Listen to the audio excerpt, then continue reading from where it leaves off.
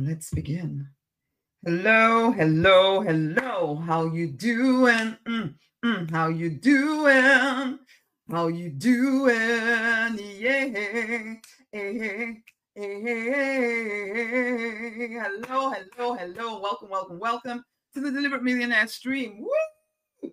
I'm Rosemary Nonny Knight. I am the Prosperity Minister and the Business Coach for ambitious spiritual people determined to thrive, to prosper, to make at least six figures whilst living in their purpose. I support you in leaving behind the pain and the limiting beliefs of the past and rising victorious in your true design life. Your true design is a life of freedom, fulfillment, financial abundance, a love drenched life. If you will claim it, it is your divine right. If you will claim it, will you? Will you? Today we're looking at the power to create wealth. I was brought up with this saying that you have the power to create wealth. This comes out of the Bible actually, um, and and and it was said to these uh, to a group of people, the Israelites. Okay, the Israelites of from the Bible times. Okay, um, and and there was this whole story of them being put into slavery over over a few over generations. They were in slavery to Egyptians. Okay, and then they then moses if anybody's watched the prince of egypt okay uh, or you've read the bible of course uh, and then moses is, is sent by the divine to go and remind them that to well to tell uh, to tell the pharaoh to let the israelites go so that they can come and worship him and ultimately let the israelites go because the israelites had for years been asking the divine to come and save them actually before we start this before i get going with this Let's start by singing our affirmation. I accept all of me, the light, the dark, the in between. I accept all of me. I love me. Okay. That's our affirmation for this week. Take a deep breath in and release. I accept all of me, the dark, the light, the in between. I accept all of me. I love me. Shaking. I accept all of me. The dark, the light,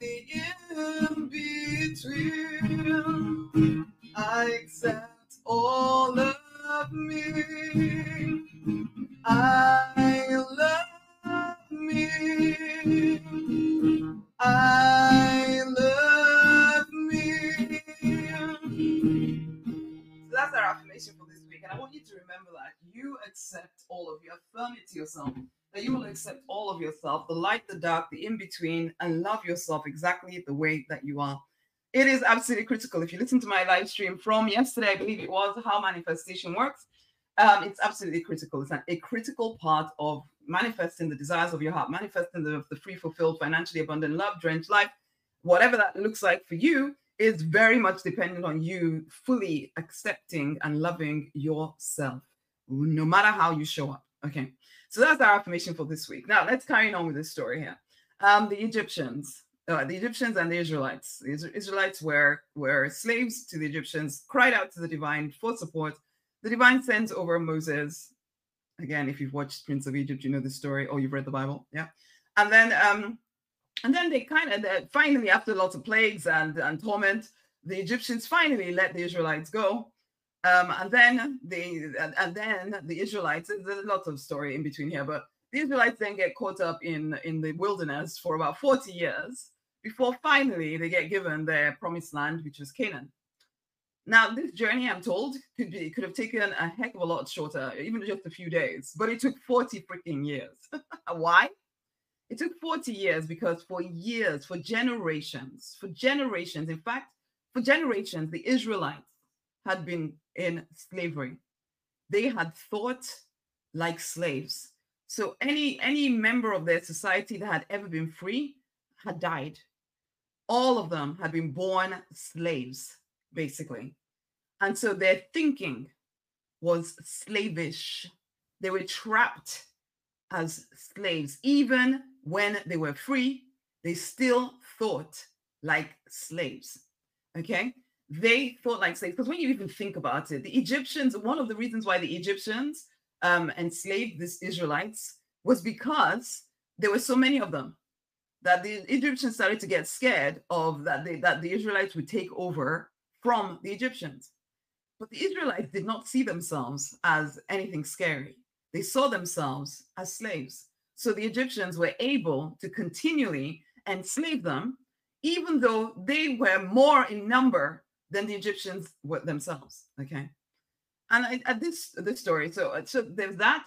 So they could have escaped at any point, but they thought they needed someone to come and rescue them. So the divine sent Moses to come and kind of rescue them. But even then, they started giving Moses a heck of a lot of trouble because they were still slaves inside of themselves. So even when they were free, so they couldn't go into the promised land until they had freed themselves on the inside.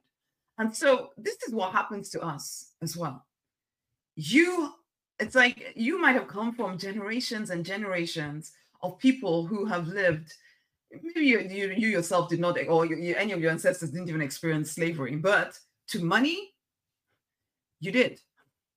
Because slavery is not just physical bondage at all. Okay, it's it's mentally, emotionally trapped by self-limiting ideas, by societal conditioning and programming, you know, mass mind programming, by financial fear. You saw your parents being so afraid around money. They saw their parents being so afraid about money, and just generations of of of, of scarcity and lack passed down until you, uh, the only thing you know is all this limitation and scarcity and mass mind programming. And it's horrible. So it is actually, you are literally like one of those Israelites. When in truth, you have the power to create wealth. You are one with the divine. You have the power to create wealth. But actually, like the Israelites, you are in bondage to really crazy ideas of weakness, of helplessness, of always being struggling with money. And and you you don't realize that those those thoughts are creating more and more of the same situation. So it's like their thoughts, the Israelites' thoughts about how weak they were and how the, the Egyptians were the bosses and they were the slaves meant that they kept acting like slaves, even though they outnumbered the Israel, the Egyptians and could have overtaken them at any point. And in fact, that's why the Egyptians had enslaved them because they were afraid of the Israelites the Israelites looked at themselves and saw weaklings, saw worms, saw, saw, saw slaves, and so therefore kept acting like slaves. They were born into this slavery. So even when they were freed, even when they were freed, they were they had this inner conflict going on because they were had been trained and programmed to always be um sub sub sub uh, submissive to the Egyptians. And so suddenly to be told that they don't have to be, and in fact, that they're free, and in fact, maybe even see the Egyptians as something of enemies, which they kind of did, but also in, they had been trained to see the Egyptians as savior. And so there's this inner conflict going on. I want to be free, but actually, aren't I supposed to, aren't I supposed to just, you know, keep being submissive to the Egyptians.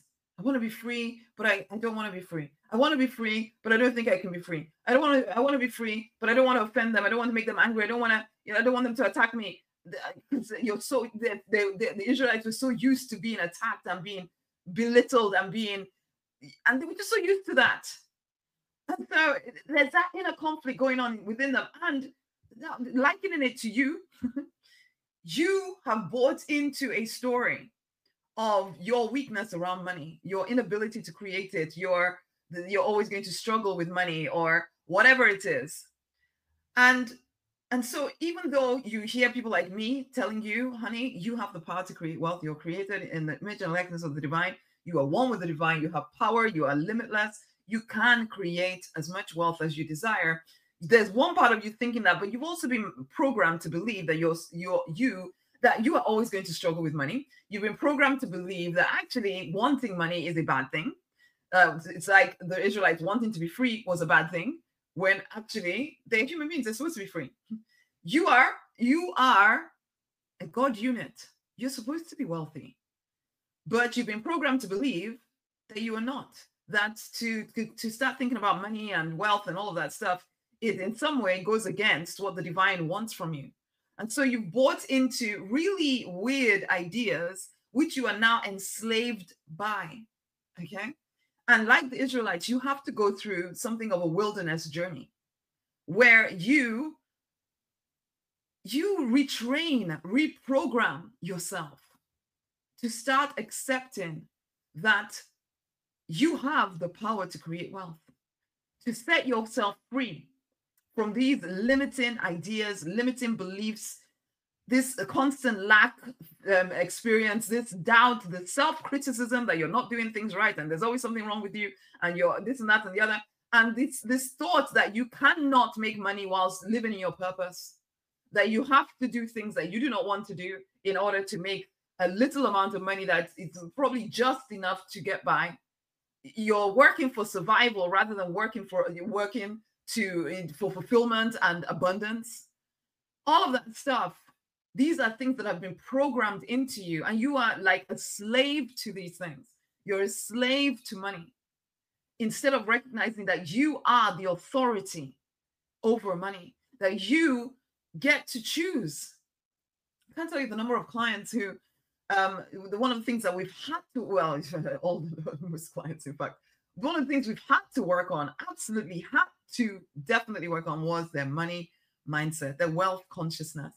Because if we didn't, no matter what strategy I tried to teach them to build businesses and all of that stuff, if they were if they were enslaved to uh, patterns of, of lack and scarcity, they wouldn't even really be able to be consistent with doing the work they will think they're working very, very hard, but they're not. They're thinking very, very hard of the things that they should do, but they're not doing it.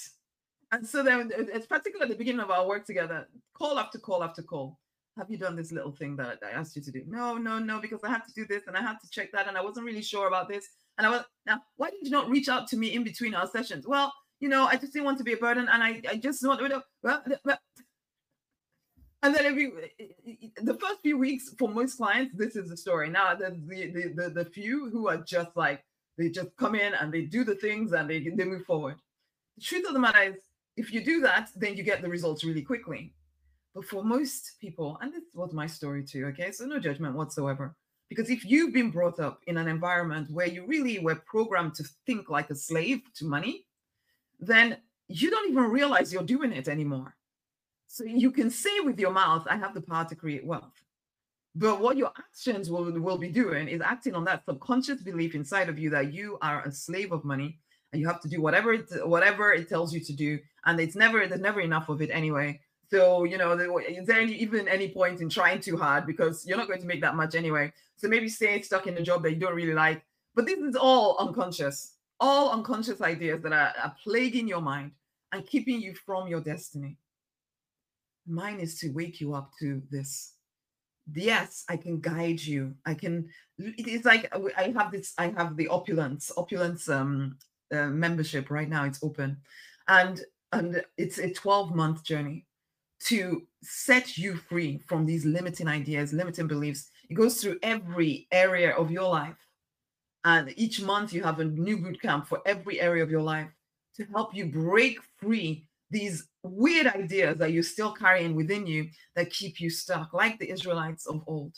You have to go through that wilderness journey in order to set yourself free. It doesn't have to take 12 months, but but for most people, you keep doing this, jumping from one thing to the other thing to the other little thing over here. You're buying this and buying the other, hoping that those things are going to save you when you're not willing to give the time to really setting yourself free. And so, yes, another a year goes by and you still haven't actually freed yourself from those limiting beliefs because you've been jumping around, jumping around from this little thing to that little thing, telling yourself that 12 months was too long to to get yourself free, but then 12 months still passes and you're still not free, which makes no sense whatsoever. But we do these things. Again, this is also a sign of slavery. When there's a part of you that doesn't truly believe that you will ever be free from free from financial scarcity, you your actions will continually keep you in a place of financial scarcity to prove you right and you won't even know you're doing it you get so excited and you feel as if it's your intuition telling you to do crazy things but it's not it is literally you got tense you you started to feel tense so it's like some clients they, they start they start doing things that will break them free of financial scarcity. They start to feel an emotional tension going on inside of them and they react to that by doing something self-sabotaging like quitting their job before they're ready to quit their job basically or something like that which then brings them back to a place of desperation and fear around money, which then makes them think, oh, it's because I'm not cut out to do this stuff. That's why this is not happening. And it, it's crazy to see the cycle people kind of play with themselves and keep themselves stuck when you don't have to play this game anymore. You are, when you start breaking free from financial scarcity and stepping into a, a fulfillment and a, a financial abundance, there will be a certain amount of emotional tension and you will be tempted to do things that seem as if they're intuitively intuitively guided but it's not your intuition guiding you it's your fear that it's so deeply embedded inside of you it's the frozen personalities inside of you that are so used to being in scarcity and lack and here you are trying to break free into financial abundance uh, in your conscious mind but your your unconscious your subconscious is busy trying to keep you in a place of familiarity and you don't even know it. And, and unfortunately, for some people in this community, you don't like to ask for help either. You feel you should know the answer to everything, and you feel that uh, people are out to get you, which is also, also the conditioning that keeps you in lack. But you think you're being wise. You think you're being reasonable. You think this is common sense that you should not, you know, get support. You're supposed to know what you're supposed to know, and therefore you should be able to do this on your own. And everybody that tries to tell you any different is trying to scam you and is trying to this and that and the other. But it, it's not that thinking is precisely what is keeping you stuck and in, in in slavery, and you don't know it. You think you're keeping yourself safe, but actually, you are literally, literally keeping yourself in slavery, in financial slavery. And you don't have to stay there. But you need to understand that sometimes you can't see what you can't see. you don't know what you don't know. You have, for generations and generations, probably in your family line, been exposed to financial slavery, to scarcity, to lack. Your way of thinking is completely embedded in that in that environment so what you consider to be reasonable is probably not reasonable. At least it's not to people who create wealth. Yes you do have the power to create wealth but you also have the power to create lack and scarcity. You are more used to creating lack and scarcity. So most of your actions and your thought processes are tuned towards lack and scarcity.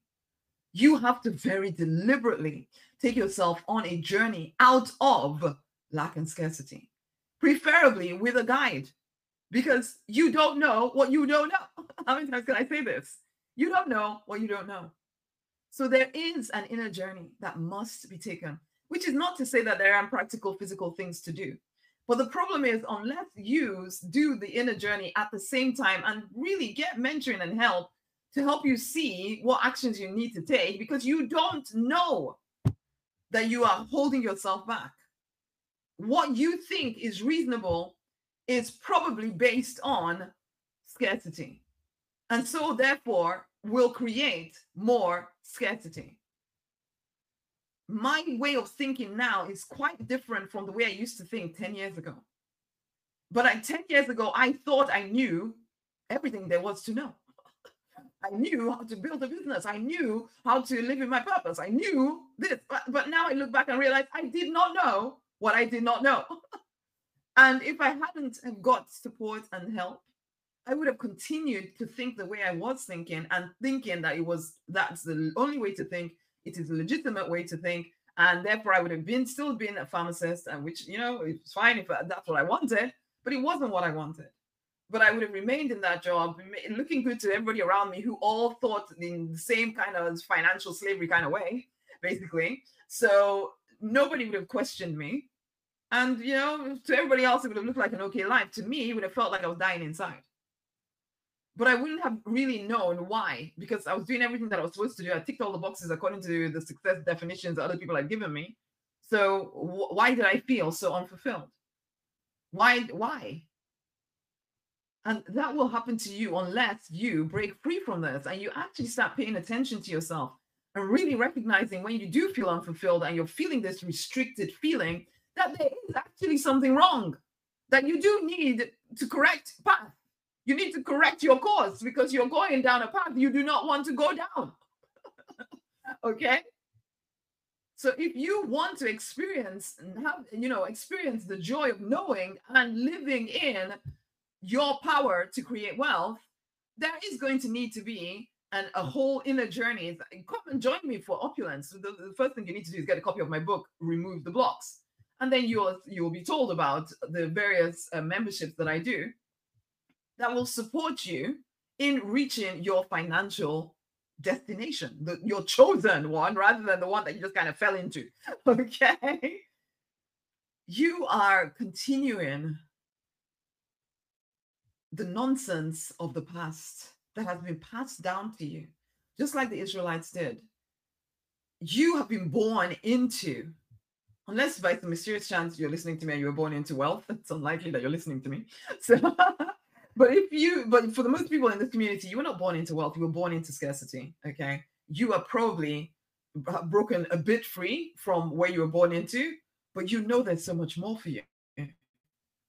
In which case, there's still some reprogramming that needs to happen and you don't know what it is because you you think in a certain way but the, the level of thinking that is required to be the deliberate millionaire you want to be is it's outside of your realms of possibility. You can't even see it. In fact when people are trying to talk to you about this stuff there's a part of you that thinks that they're making that, that they're, they're silly and they're making things up and they're scamming you basically.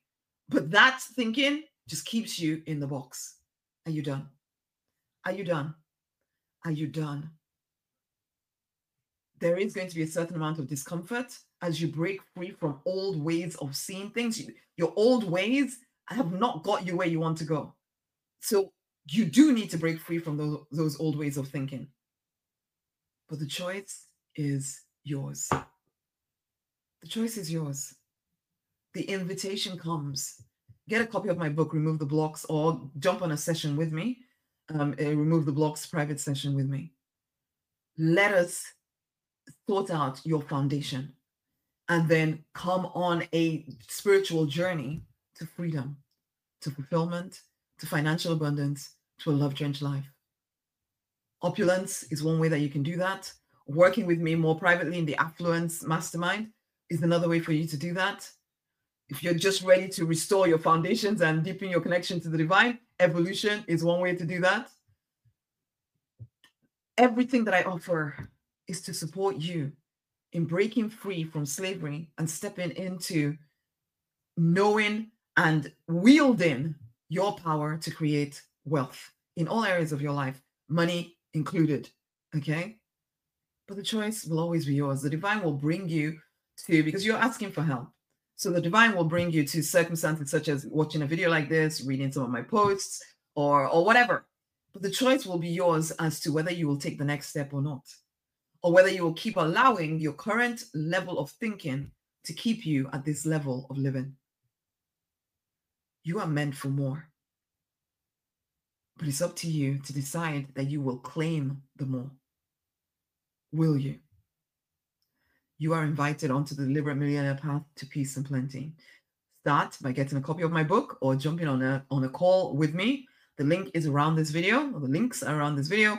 If you're on Instagram, the link is in my bio, or to have a private session with me. In fact, you know what? I need to put that in my bio. I'm going to put it in my bio. Or you can message me the word private session and or the phrase private session, and I will get the details to you. But it's time for you to break free, but it's a choice that only you can make it's a journey you need to get on. How many more years need to go by? I mean, like right now, we're coming to the end of this year, less than 100 years to 100 days to Christmas. did you are you where you thought you would be by now? Or are you still struggling and telling yourself, oh, I'll figure it out. I know what I'm doing. I don't ah, ah, ah, know. that." Are you done? Are you done? Because you are meant for more. But you are the one to claim it. You are the one with all the choices. I can invite, but you have to choose to take me up on that invitation. It's time for you to break free. You are no longer a slave. You were never meant to be a slave, but you are the one that will finally decide I no longer choose to live in financial slavery. I choose to set myself free, to thrive, to prosper, to make at least six figures whilst living in my purpose. It is your choice. You have all the power. You have all the choices. The divine has granted you the power to create wealth. You are made to create wealth. Will you? Will you? Or will you keep creating scarcity? Will you stay with the curse of your ancestors instead of stepping into a whole new generational line? The choice is yours. Until the next time, my loves, get a copy of the book and go forth and prosper. You deserve so much more, but you're the one to go and get it. Okay? I can help. See you around the video in the various ways that I can help you. Much amazing love. Bye.